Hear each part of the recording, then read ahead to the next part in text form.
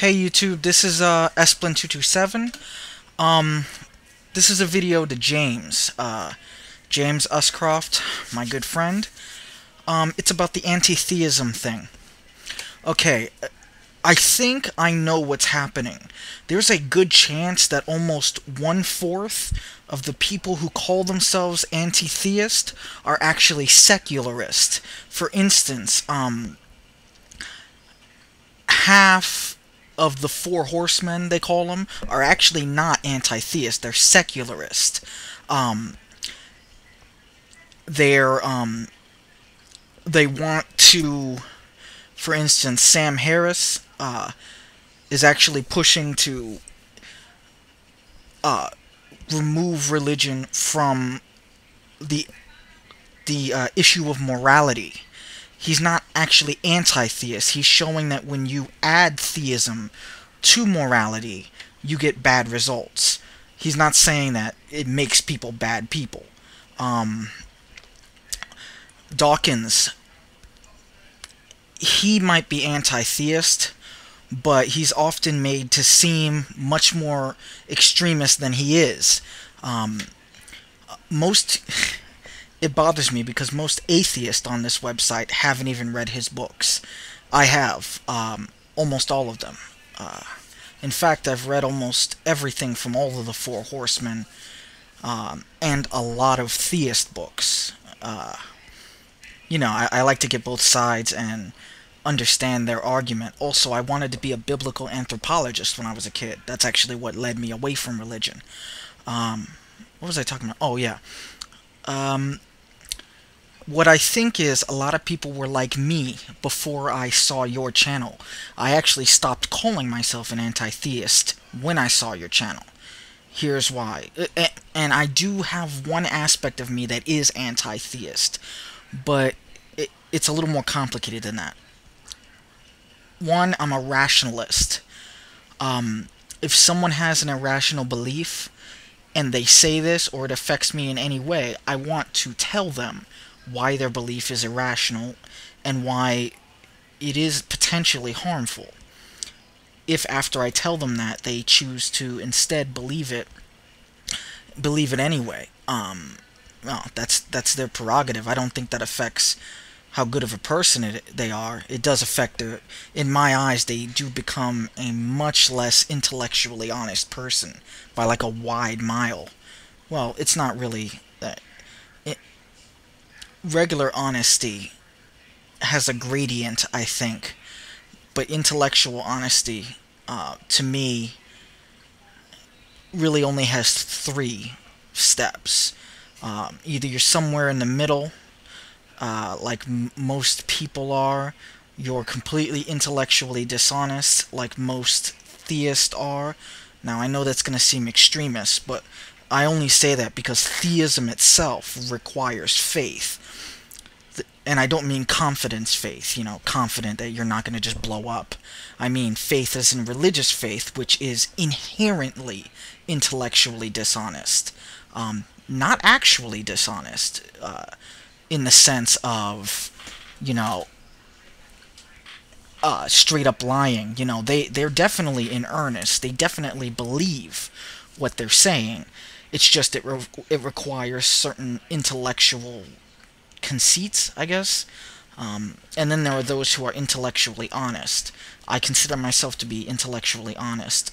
I frequently uproot massive beliefs that I had. I analyze them. I cut out the fat, I guess you could call it, and then I put it I keep the parts that are good. I don't even just expel a belief when it turns out to be wrong. I try to find out what was right about it, even though my pride wants me to just be like, ugh, you know? But anyway, uh, sorry, I go off on a tangent. I am a rationalist. I am a secularist.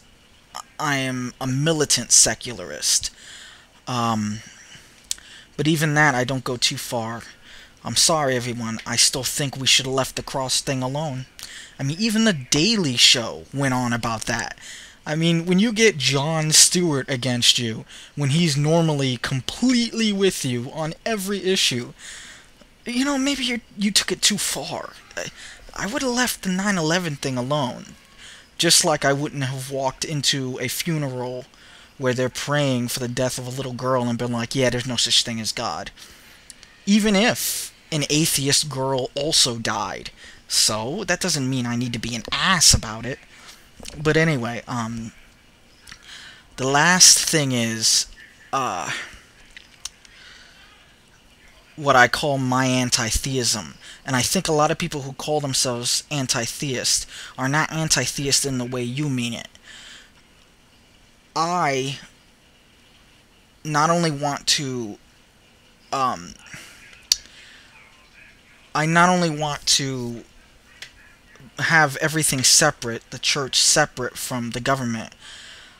I don't want to do damage to the people who are in these churches, but I would I do like it when again, I don't mean physical damage to churches like what that small group of atheists did and then all the atheists helped to fix the problem. You know, I'm talking about damage to them financially. Uh, I would whenever a prominent theist goes down, turns out to be gay or whatever, you know, that's not secularism. That has nothing to do with the government. But I'm glad. I'm glad he got brought down. Um, I support people trying to bring down the churches, even churches that are not um, that are not directly involved in the government. Um, because I don't see what religion does to be a good thing, and I think we have enough data to show that it is not quite a good thing, even though there are good things about it. Again, I don't want to take anyone's freedom away. You have the right to your religion, but um, when it comes to economic things, like I wouldn't make an economic policy against religion, but if you made an economic policy, I don't know, against like clubs getting like the tax exempt status. Well, that would be secularism. You get what I'm saying, right? Uh, I am happy when um, I'm happy when certain priests who claim the moral high ground are disgraced. Not because I want to see anyone get disgraced, but because I want to see people disillusioned. I, I want to see people you know, I'm not anti-theist, uh, but I, if there's something I can say that damages the church, now again, not physically, uh, but does damage to their image or their reputation, and it's true, I will say that thing gleefully. Um, I don't like religion. Um, and I don't see religion as a person whose rights I can step on. There are people in a religion whose rights you can step on, but I am in opposition to religion. But that's only third. First, I'm a rationalist. For those of you who really are anti theist, understand this. Religion is gasoline, not the fire. It just isn't. It never was. It never will be. Are there times where it's a spark? sometimes. For instance, the 100 Year War. That was about sovereignty. What happens when you add religion to that? You make what would have been a 20 year war a 100 year war. That's what religion does. Uh, for instance, the Middle East. That's about politics and things first world countries did to fuck up the Middle East. We raped the shit out of that country. However, when you add religion to an already bad situation, it becomes a quagmire. Um, again, religion did not cause those things, but religion is an amplifier. Um, there are even times where religion can amplify good things. For instance, say you have a charity. Um, if I don't think you should put Christ in in the charity, but if you did, you could probably get a lot more people to give to that charity. That's because religion is an amplifier. It'll amplify either the good or the bad. It just does. It's not a position I'm holding. It's what history has shown us to be the case. Um, I think when you remove religion from any given subject, or at least remove the bias that religion has, That's what I'm trying to destroy. I'm trying to destroy, not destroy, but, well, yeah, I'm trying to destroy the respect for religion and shift it to respect for people who happen to be religious. That's what a lot of people mean when they say anti-theist. Unfortunately, I fear most of them are saying it in the way you're arguing against. And I agree with you on that point. They're wrong. They're just bigoted. You know, they've decided that everything, you know, they're like conspiracy theorists. Everything's religion. No, it isn't. Religion is gasoline, not the fire. You remember that 80s song, We Didn't Start the Fire? That's that's religion saying that. Uh, they just they're just gasoline, you know. Um, that's that's how I've seen it, and I think I, I have not found anyone who can contradict that, atheist or theist. That when you add religion to a situation, if it's a good situation, it sometimes amplifies it. Unfortunately, most of the time, it amplifies the bad, um, the bad aspects of a situation, of a conflict situation, obviously. Um, but yeah, that's what I'm saying. Uh, my anti-theism is based on destroying the respect for irrational beliefs. And um, I think a lot of people read books from the Four Horsemen. Actually, no, they don't. They watch a one-hour uh, speech that's on a specific issue, and they think that they know that person's views. But you got to remember that that person is often referring back to things in their book. Um, so I guess at the end of this video, I also have a challenge. If you're an atheist, you need to read some of these books, not just the God Delusion. Um, right now, I'm going through the extended phenotype. I read The Selfish, I mean, yeah, The Selfish Gene, uh, River Out of Eden, um, The Blind Watchmaker, ah, The Blind Watchmaker, The Greatest Show on Earth, I read pretty much all of Dawkins' books except The Devil's Chaplain and one other book. Uh, the Ancestor's Tale I read. But anyway, um, Dawkins is a brilliant evolutionary biologist. Not that my opinion matters. I'm not an evolutionary biologist. Um, Hitchens is a little more anti-theist, even though Dawkins has one point that I disagree with vehemently we cannot interfere with parents teaching their children religion. That is the worst idea.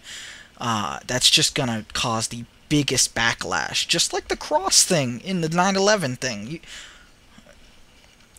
it might be okay in principle, for instance, telling people that you can't indoctrinate. See, I don't agree with the idea of indoctrination, you know? Um, are some people indoctrinated? Yes, but do they still have free will? Yeah. Um, but I'm sorry, I'm going off on a tangent. So James, um, there's just not a word to separate the type of anti-theism you're talking about and the type of anti-theism that I think a lot of people are talking about, where we are actively trying to harm religion not harm the people in religion, but we're, we're trying to do harm to the institution, uh, removing the respect for religion, the way people tend to just stop talking when we start talking about faith because you don't want to offend anyone.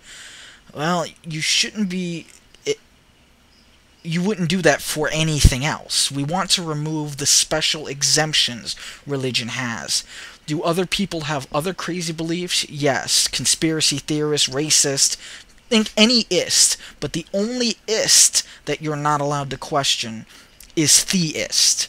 You get what I'm saying? That's what anti-theist in in my sense of the word, and I think in Dawkins' sense, except for that kid thing. Damn it. I wish he didn't say that, but I think that the type of anti-theism is the type that's good, uh, not against theist. Uh, okay. Um, until my next video, try to make the world a better place, and I will too.